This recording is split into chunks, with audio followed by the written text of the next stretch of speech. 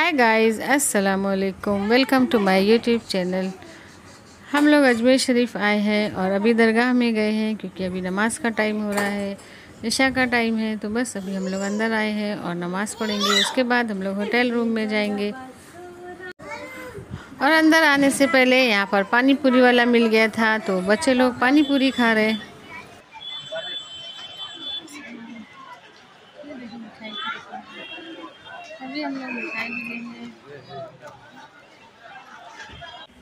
तो यहाँ पर कुछ फूल वगैरह लिए हैं और वो अंदर दे देंगे। हम लोग अंदर नहीं जाएँगे क्योंकि औरतों का अंदर जाना सख्त गुनाह है। तो बस गेट पर से किसी को दे देंगे हम लोग। हमारा अंदर जाने का मकसद सिर्फ़ नमाज़ और इबादत करना है। और ये बहुत बड़ी देग है और इस सीढ़ी से चढ़कर ऊपर जाते हैं और इस देग के अंदर सब लोग पैसे वगैरह डालते हैं।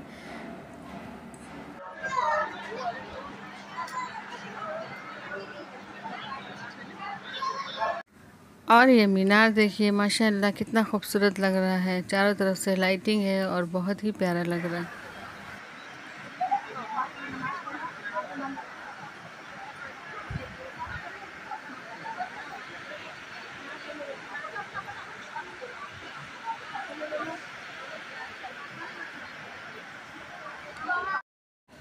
और माशाल्लाह, आप देख सकते हैं, यहाँ पर सब लोग नमाज़ पढ़ रहे हैं।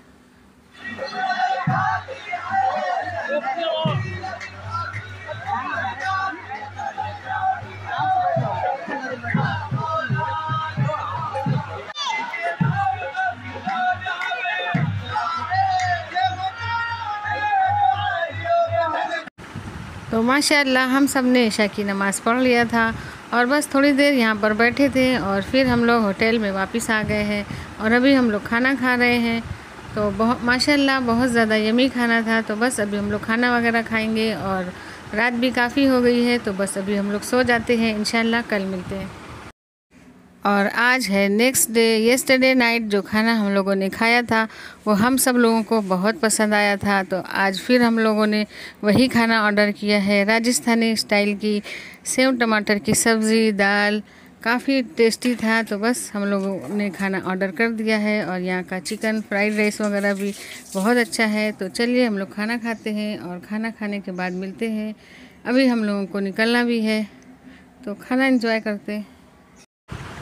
तो हमारा लंच हो गया था और हम लोग मार्केट चले गए थे और अब आने के बाद हम लोग यहाँ से निकल गए हैं और हम लोग जा रहे हैं चूरू। तो आज का ब्लॉग यहाँ पर ही एंड करते हैं। होप आप लोगों को मेरा ये ट्रैवलिंग ब्लॉग बहुत पसंद आएगा और पसंद आए तो लाइक शेयर और सब्सक्राइब ज़रूर कीजिए। बहुत सारे अच्छे अच्छे कमेंट कीजिए। अपनी दुआओं में हमेशा याद रखिए। मिलते हैं नेक्स्ट वीडियो में। तब तक बाय अल्लाह हाफिज़।